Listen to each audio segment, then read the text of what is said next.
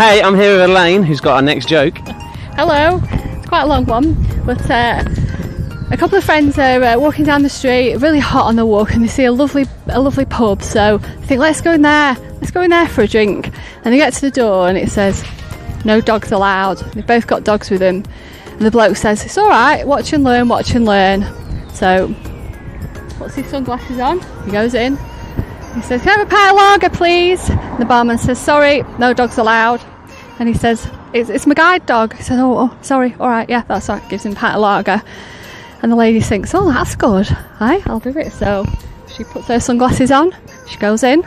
Pint of lager, please. Sorry, no dogs allowed. She says, But it's my guide dog. And he says, They gave you a chihuahua as a guide dog. And she said, You're joking. They did what?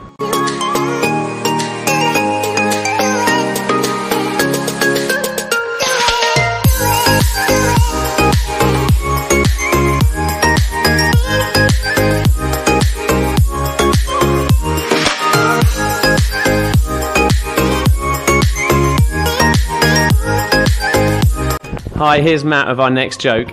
Uh, drunk man walks into a pet shop. He says, "Excuse me, how much are the wasps?" And the pet shop owner goes, "We don't sell wasps." And the drunk man goes, "Well, you've run in the window."